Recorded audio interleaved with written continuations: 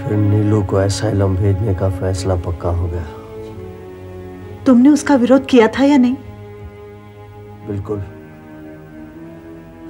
मैं और पन्ना भाभी दोनों इस फैसले के खिलाफ थे। हम दोनों ने उन्हें रोकने की बहुत कोशिश की।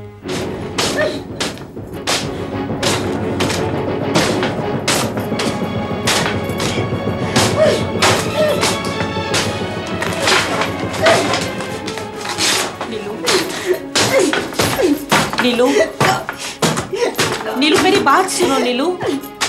देखो, अगर तुम्हें गुस्सा आया करे तो मुझे मार दिया करो। नीलू नीलू, होश में आओ नीलू। नीलू, होश में आओ। दादी माँ को मारकर तुमने बखेड़ा खड़ा कर दिया ना? तुम ऐसा नहीं करना चाहिए था नीलू। ऐसा नहीं करना चाहिए था। मैं ऐसा नहीं करना चाहती थी। दादी मेरे को गुस्सा। मेरे को चो, चो, चोटी चोटी प, पकड़ी। मैं जानती हूँ। तुम पागल थोड़े हो जो सबको मारती फिरोगी। मैं पागल नहीं हूँ। मैं, मैं दादी बुरी। मैं क्या करूँ नीलू मैं तुम्हारा क्या करूँ? मैं क्या करूँ? भाभी भाभी रो, रो, रो, रो, रोना नहीं रोना नहीं। मैं मैं मैं मैं, मैं अच्छी। आ- आप रोना नहीं रो, रोना नहीं। भाभी रोना नहीं।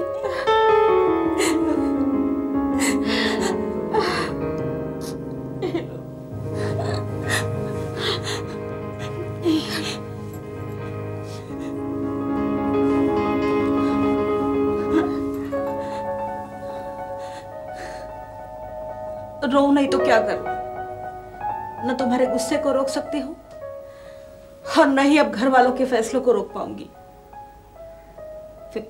फैसला? कै, कैसा फैसला? समीर की शादी बारू के साथ। मज़ा मज़ा आएगा। शादी? का फैसला? रो, रोकना क्यों? नीलू तुम्हारी वजह से समीर की शादी रुकी हुई है। तुम्हें तुम्हें असाइलम जाना होगा नीलू। हाँ तुम्हें इलाज करवाने के लिए इस घर से जाना पड़ेगा।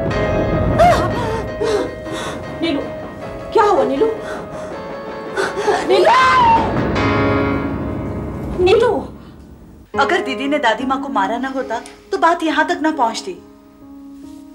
देखो रश्मि हम समाज में नॉर्मल लोग कहलाते हैं। अगर कोई चीज़ हमारी मर्ज़ी के खिलाफ हो या तो कोई कोई बात हमें पसंद ना आए तो हम अपना दिमाग ठिकाने नहीं रख सकते। और दीदी तो हम नॉर्मल लोगों में से भी नहीं है। फिर दादी की बात को वो कैसे रिएक्ट कर दी और उनके पास अपनी नाराज़गी ज़ाहिर करने के लिए लफ्ज भी तो नहीं है। कोई इंसान बोल नहीं सकता तो वो गुस्सा कैसे ज़ाहिर करेगा? हाथ उठाएगा ही, मारेगा ही। लेकिन मारने से नुकसान तो दीदी को ही हुआ ना। रश्मि इंसान गुस्से में जो करता है उसका अंजाम कभी नहीं सोचता। और रात तक सब संत हो गए होते। और दीदी की ये सब बातें मैं तुम्हें चंद घंटों में सुना रहा हूँ। उसने पूरी ज़िंदगी एक बंद कमरे में निकाली है। और आज भी वो वही है। सच कह रहे हो। दीदी की बातें सुनकर मुझे इतनी तकलीफ़ हो रही है। तो इतने सालों तक उनकी क्या हालत रही होगी? शिखर, जब उन्होंने अपने आप को बाथरूम में बंद कर दिया था, उसके बाद क्या हुआ? उसके बाद क्या? पन्ना भाभी ने नीलू दीदी को बाहर निकालने के लिए बहुत मिन्नतें की, लेकिन दीदी बाहर नहीं आई। भाभी ने सनत भैया और मुझे आवाज़ दी। मुझे आज भी याद है रश्मि। जब हम वहाँ पहुँचे तो माँ फूट फूट कर रो रही थी और दीदी को बाहर निकलने के लिए समझा रही थी। दादी माँ मुँह फुलाकर कमरे के बाहर खड़ी थी। लाख कोशिश के बाद मैंने और सनत भैया ने बाथरूम का दरवाज़ा तोड़ दिया। दीदी को बाहर निकाला तो उसकी हालत बहुत खराब हो गई थी। भाभी ने तुरंत डॉक्टर को फ़ोन किया। डॉक्टर के कहने के मुताबिक और दीदी की इस हरकत से बाबूजी ने फैसला कर लिया था कि अब नीलू इस घर में नहीं रहेगी। उसे असाइलम जाना ही होगा।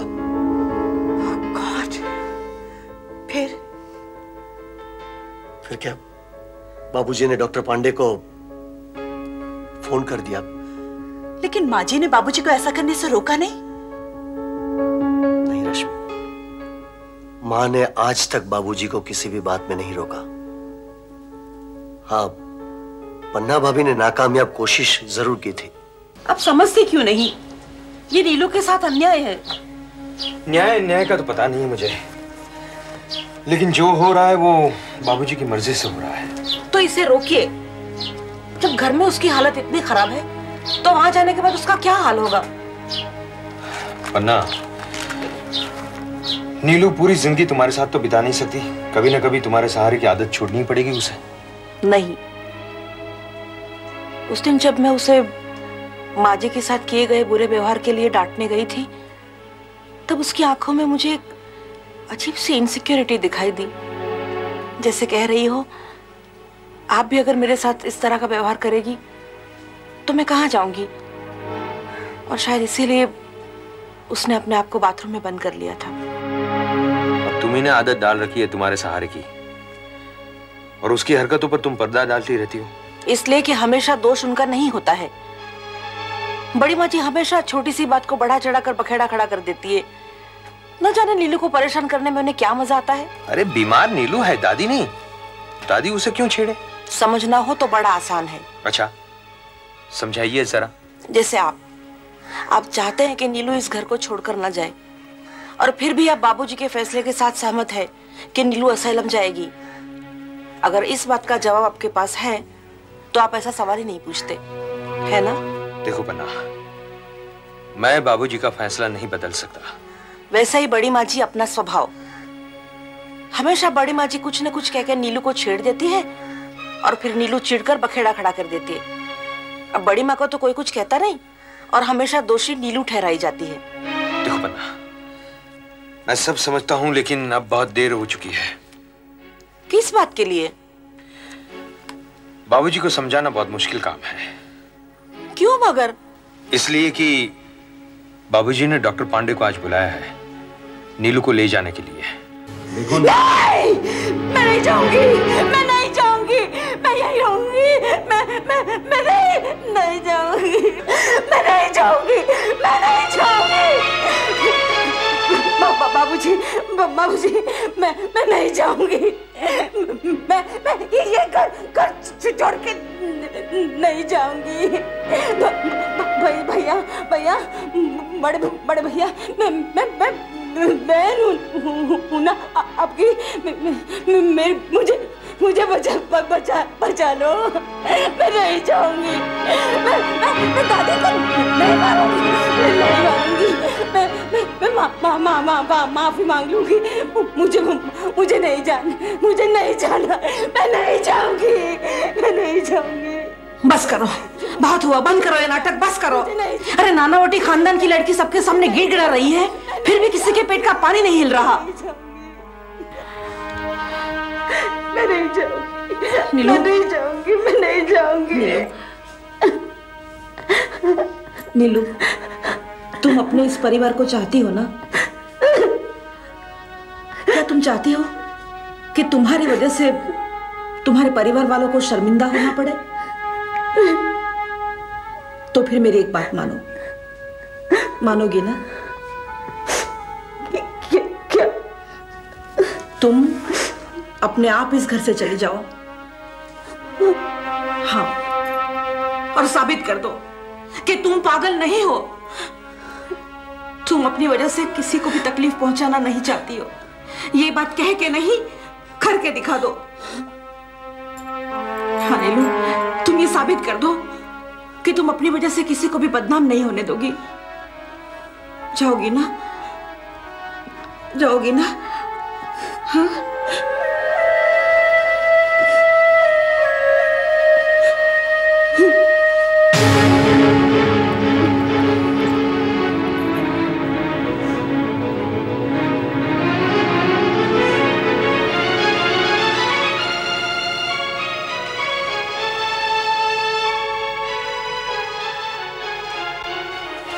रुको। नलिनी कहीं नहीं जाएगी। नलिनी इसी घर में रहेगी।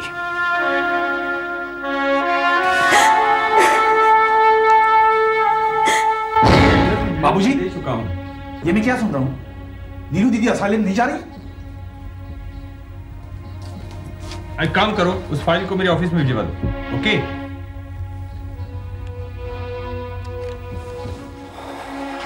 हाँ बोलो। क्या प्रॉब्लम है तुम्हें समीर? मैं ये कह रहा था बाबूजी कि नीलू दीदी को असालिम भेजने का इंतज़ाम आपने ही करवाया था ना? फिर ये नलिनी को एसएलएम में भेजने का फैसला मैंने किया था। उस फैसले को मैं बदल भी सकता हूँ। चाहे वो फैसला आपके बेटे की खुशियों को बिखेर दे। बेटे के लिए मैं अपनी बेटी की ज़िंदगी बर्बाद नहीं कर सकता।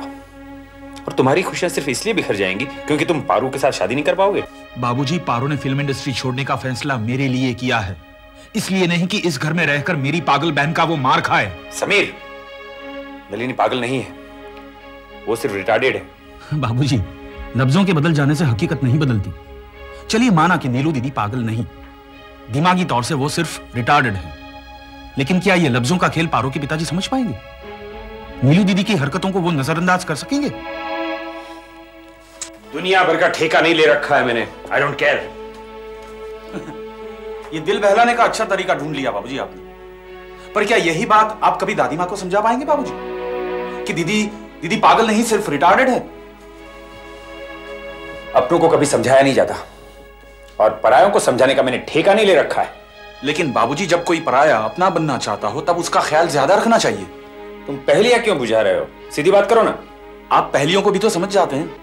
इसमें भी तो आप मेरे बाप ही है ना। और बाप का कहना बेटा मान ही जाता है। मगर पारू के डैडी शायद ना माने। सिर्फ़ दीदी की वजह से हो सकता है कि वो पारू को इस घर की बहू बनाने से इनकार कर दे नानावटी खानदान की बहू बनना उनके लिए फक्र की बात होनी चाहिए।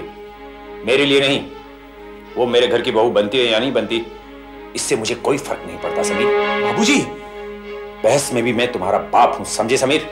Now no more arguments Paru के पिता अगर इस घर से रिश्ता न रखना चाहें तो उनकी मर्ज़ी। लेकिन नलिनी यही रहेगी वो कहीं नहीं जाएगी। समीर तुम ही बताओ मैं उस घर में कैसे रह सकती हूँ? जिस घर में पागल भी रहती हो। दीदी पागल नहीं है। सिर्फ़ मेंटल रिटार्डेड है। सुन चुकी हूँ सौ बार सुन चुकी हूँ। Sameer do you love me of course yes ये भी कोई पूछने की बात है पारू तुम मेरे खातिर अपने बाबूजी को एक बार नहीं राज़ी कर सकते हो? मैंने कोशिश की थी पारू कोशिश की थी मैंने एक बार पर पर क्या तुम डरते हो उनसे? नहीं डरता नहीं हूँ मैं। शायद सबसे ज़्यादा इज़्ज़त करता हूँ उनकी मैं। घर में उनके कहने के ऊपर कोई नहीं जा सकता पारो। मतलब? मतलब ये पारो के सनत भैया को बनना था डॉक्टर पर सिर्फ़ बाबूजी को बिज़नेस में हेल्प करने के लिए उन्होंने अपनी इच्छा को दबाकर मेडिकल लाइन नहीं ली। हालाँकि डॉक्टर बनने का उनका सबसे बड़ा सपना था ज़िंदगी का। तुम कहना क्या चाहते हो? यही कि हमारे घर में बाबूजी के फैसले की मोहर लगने के बाद ही कोई कुछ कर सकता है। और उनके फैसले के सामने किसी की एक नहीं चलती। यानी तुम्हारे बाबूजी तुम्हारी दीदी को कभी मेंटल असलम नहीं भेजेंगे? नहीं। और तुमने ये फैसला मान लिया? आज तक उनके सारे फैसले मानता आया हूँ। तो फिर मेरा भी एक फैसला सुन लो। मैं उस घर में नहीं रह सकती हूँ। शायद पागल भी रहती हूँ। तो फिर पारो हमें अपने शादी के ख्वाब भी छोड़ने होंगे। समीर। रो मत पारो रो मत। तुम्हारे इन आंसुओं से पुरुषोत्तम दास नानावटी पिघलने वाले नहीं हैं। अब वो उनकी जिद नहीं छोड़ेंगे। चाहे दुनिया इधर की उधर हो जाए। तुम्हारे बाबूजी ने नीलू दीदी को नहीं भेजने का फैसला किया है ना? हाँ। समीर बाबूजी को मेरे सामने तो कोई प्रॉब्लम नहीं है ना? मेरा इस घर में बहू बनकर आना उन्हें नापसंद तो नहीं है ना? नहीं नहीं नहीं पारो बाबूजी हमारी शादी के खिलाफ नहीं है बिल्कुल। और अब जब तुमने फ़िल्म लाइन छोड़ने का इरादा किया ही है तो तुमसे उनको कोई प्रॉब्लम नहीं है। हाँ अगर हमारी शादी दीदी को घर से निकालने की शर्त पर हुई तो वो शर्त उनको नामंजूर है। अगर यही बात उन्हें शर्त की शक्ल में ना रखकर समझाई जाए तो? पता नहीं। लेकिन बाबूजी की नाब हाँ में नहीं बदली जा सकती। और दीदी को असाइलम कोई नहीं बेच सकता। ट्राई तो करते। कैसे? और मेरी डैडी तुम्हारे बाबूजी से मिलने आएँगे।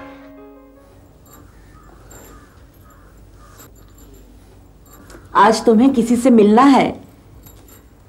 मुझे? हम्म। किसे? पारू और उसके पिताजी आ रहे हैं। तुम्हारा हाल चाल पूछने। मैं पागल हूँ। वो देखने। नहीं नीलू, तुम कितनी समझदार हो। अनकही बातों को भी समझ जाती हो। फिर क्यों अच्छी बनकर नहीं रहती आप? सब लोग मुझे नफरत। नहीं नहीं, मैं जो आपको चाहती हूँ, माँ जी आपको चाहती है, फिर इस कम, कमरे में मैं बंद। आपको इस कमरे से बाहर ले जाया जा सकता है। अगर आप मेरी बात माने तो। क्या? आज आप पारू और उसके पिताजी के सामने ऐसे जाइए, जैसे आपको कोई बीमारी ना हो। आप बिल्कुल नॉर्मल हो। मैं बीमार नहीं। मैं जानती हूँ, आप बीमार नहीं हैं। लोगों की नज़र कमज़ोर है। मेरी खातिर। प्लीज़ मेरी खातिर उनका यह वहम दूर कर दीजिए कि आप मैं पागल नहीं हाँ।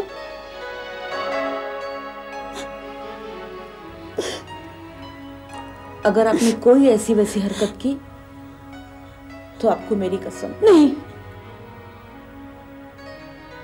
कसम। नहीं। मैं अच्छी इतनी अच्छी कि बाबूजी भी देखकर हैरत में पड़ जाए कि यही मेरी नीलू है। समझ गई ना?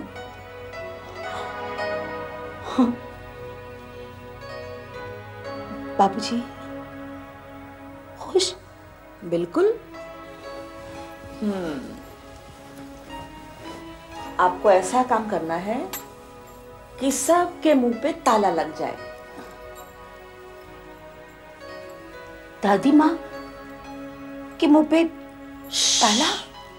यही कही होंगी वो हमारी बातें सुन लेगी तो नाराज़ हो जाएँगी। ये तो हम दोनों के बीच में समझौता रहा कि आप पारू और उनके पिताजी के सामने ऐसे जाएँगी जैसे बिल्कुल सयानी हो। हम्म? मैं? हूँ सयानी। है ना? हम्म। पर मैं ये सयानापन के, के, कैसे दिखाऊँ? बहुत सिंपल है। आपको सिर्फ़ एक काम करना है। चाय की ट्रे लेकर पारो और उनके पिताजी के सामने जाना है और हंसकर उनको चाय पीने के लिए कहना है। बस। हम्म?